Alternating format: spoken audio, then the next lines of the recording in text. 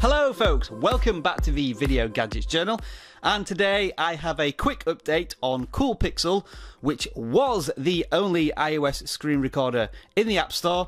And I say was because it's been removed. If you do a search for Cool Pixel right now, you're not going to find the application. Now, the developer has confirmed this on their Twitter feed, so you're not going to be able to download it for now from the App Store, but you can still download it, and he has provided information on a Twitter post. I will include the links necessary though if you don't have access to Twitter.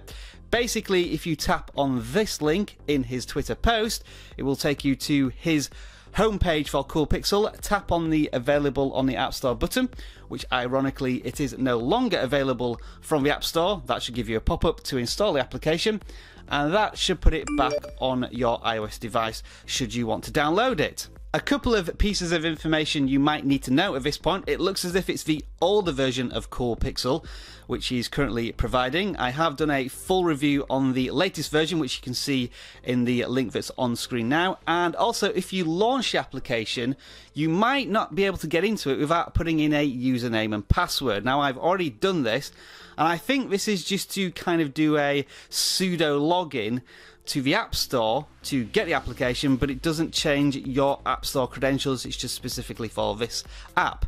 And the login details are your Apple ID is coolpixelfree at gmail.com, and the password is cool, capital C, 1314. But I will leave all this information in the video description.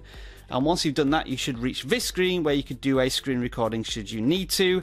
But just to remember, this is a semi paid application where if you want to record more than two minutes without a watermark, you'll have to use the payment options provided on screen here. So that's a quick update on Cool Pixel.